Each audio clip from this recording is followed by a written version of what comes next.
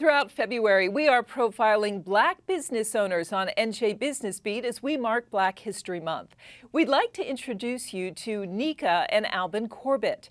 They've created a business out of promoting and selling products created by black and brown entrepreneurs. They started by offering a unique subscription box and now have a store in Moorestown. I talked with them about their company, Curate Noir. Welcome to NJ Business Beat. It's great to have you both on the show. Thank you. Thank you. Much. Tell me how the two of you came up with the idea for your business where you feature products made by black and brown entrepreneurs. Um, actually, during the pandemic, what we had was a subscription box service where we debuted different black and brown owned businesses for about almost two years. And from there, people were really interested in the different products that they've never heard of before.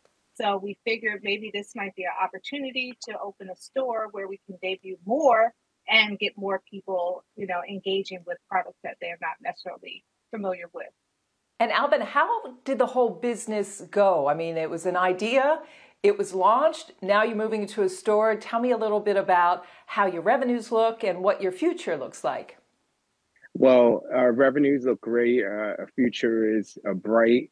Um, one of the great things that we were able to do during that pandemic was bolster a subscription based box business.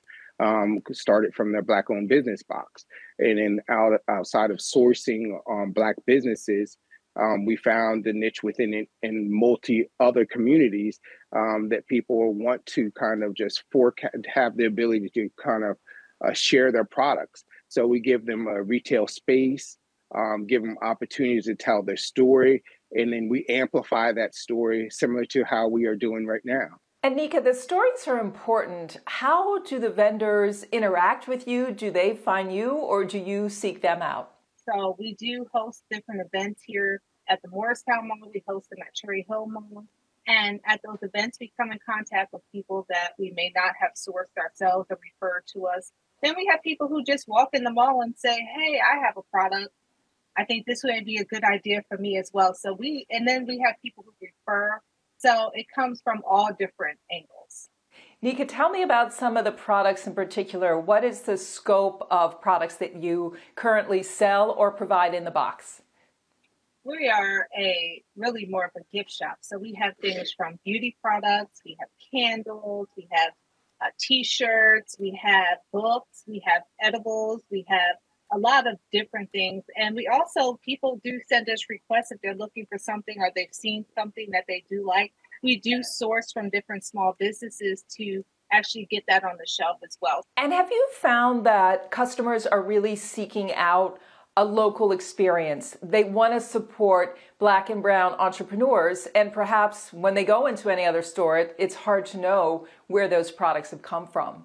Um, we do a lot of marketing to let people know shop local, we're here, and we do get that local market that does come through because they know maybe their friend is on the shelf.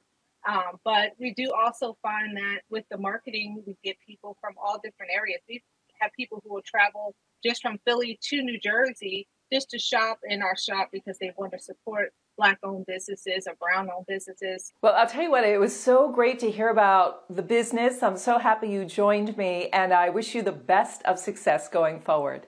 Thank you so Thank much. Thank you very much. Appreciate it.